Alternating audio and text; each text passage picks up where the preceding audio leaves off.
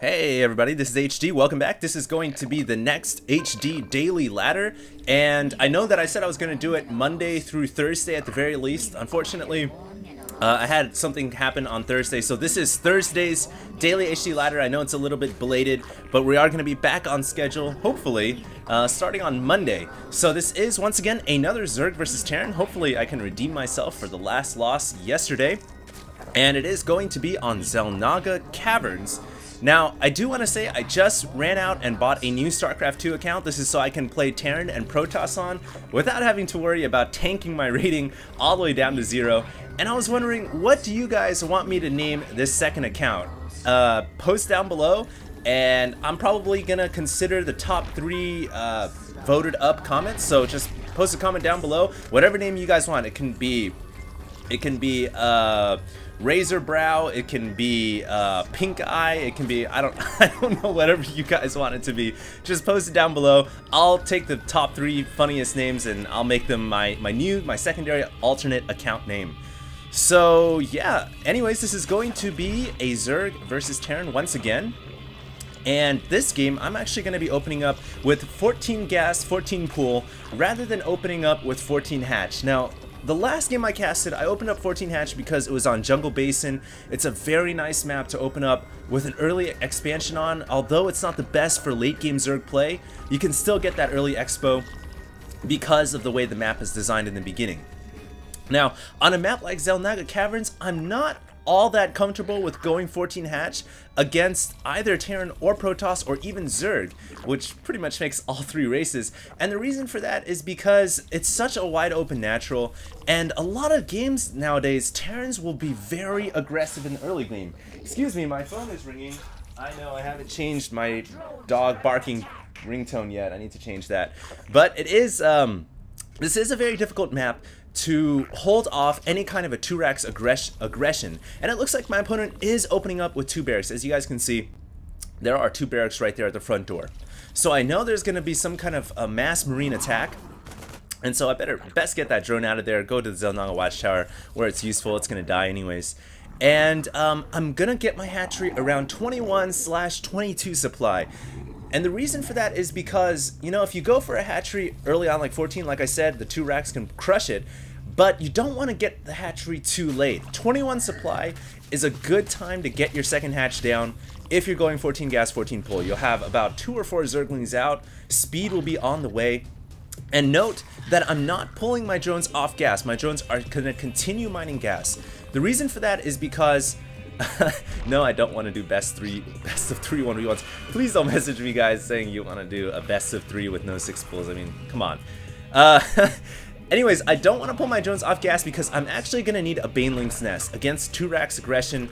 You guys all know Speedlings, even you know Zerglings, even with speed, they're really not that good against a handful of Marines, especially if someone who micros and uses the scoot and shoot maneuver. So um, I'm going to get some Banelings. It looks like my opponent is going to be going for two racks and a command center.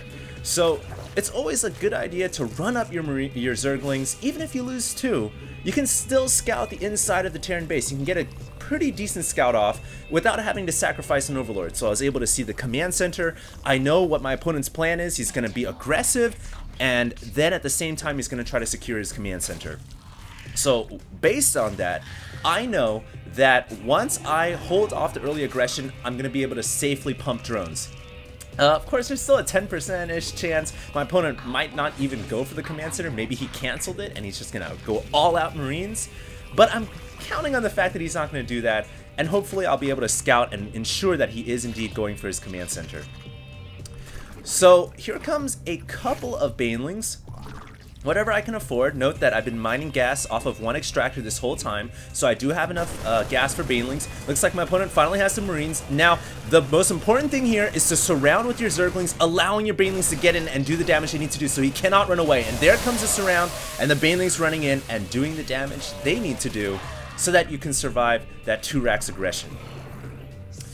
So it looks like it looks like I was able to hold that off and now I'm going to make sure that my opponent indeed is going for that command center and it looks like there are a couple of bunkers going up here.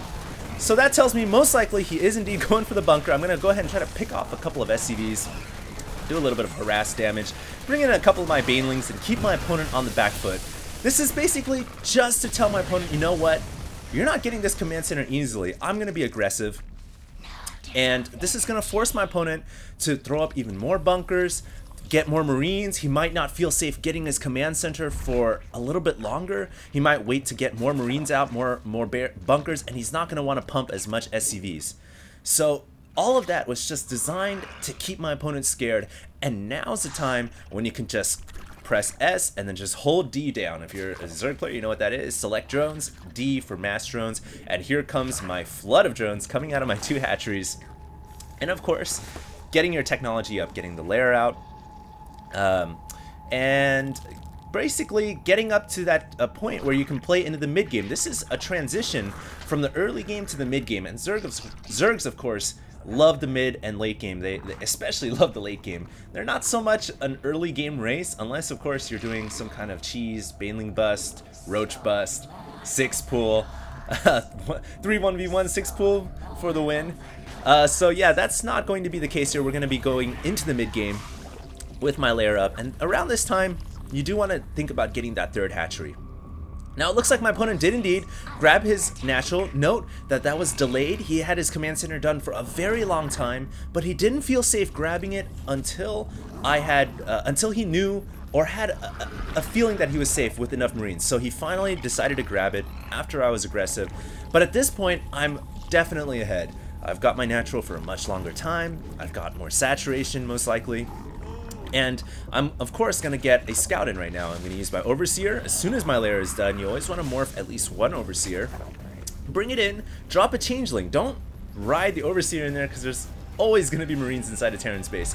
So drop a changeling and then do some scouting. So here comes my overseer. Note as well that during all this time, I am getting my third hatchery. So you do want to get your third the same time the Terran gets the second. So, it looks like I just got a pretty good scout off. My opponent is going to be going pretty much mass bio. Uh, he has a factory down, most likely for dropship play. And actually on this map, dropships can be very, very effective. And to deal with that, you need to spread your overlords out. So notice I have my overlords surrounding my opponent's base on all sides. I can see when dropships come. And it looks like my opponent is going to push out once again. And because I control those Xel'Naga watchtowers, I see my opponent pushing out. I know to produce attacking units now. Before that, all you want to do is just drone, drone, drone, drone, drone, and then you want to build attacking units once you see your opponent coming.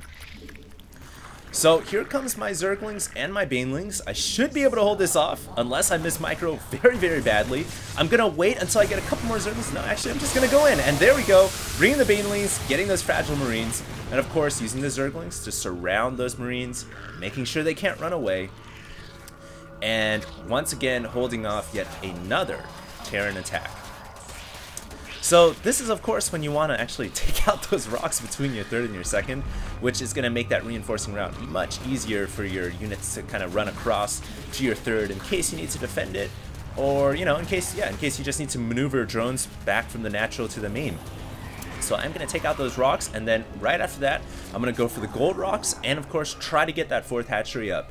Zerg, as you know, is all about getting as many hatcheries as you can. It's all about infesting more and more bases, getting as much drones as you possibly can get, and you really want to call the cutoff point around 75 drones. That's the optimum amount of drones. You don't want to go over that because that's when it starts to cut into your, your army supply. And you don't want to be under 75 for the late game because then you're not going to have enough economy uh, to keep up with a macro style game. So it looks like I'm going to drop my Changeling once again, get a Scout off in my opponent's base, that is a Spire going up inside my main, uh, and you eventually, like I said, you always want to transition into Muta Baneling play. It's really the best composition versus Terran. You can also bring in some Roaches if your opponent is going Thor Hellion. Roaches are great against Thor Hellion, but you have to be careful because Thor Hellions come out of the factory, and out of the factory also comes the dreaded Siege Tank. And roaches are not so bueno against siege tanks. They, they actually just die very easily to tanks uh, when they're in siege mode. So you do have to be careful. You, you can mix in some roaches if they have Thors and Hellions, but you don't want to overemphasize the roaches. Uh, because then they can switch over to that mech. They can also go into pure marauder mode uh, if they have the barracks up. So you do want to be careful when you're going roaches against Terran. uh, looks like I am getting my upgrades, Carapace and melee attack since I'm focused so heavily on ground.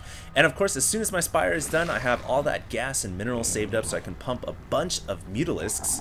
Unfortunately, I, my larva timing is a little off, so I don't have too many larvae ready. Um, but as you guys can see, I do have an auxiliary hatchery. One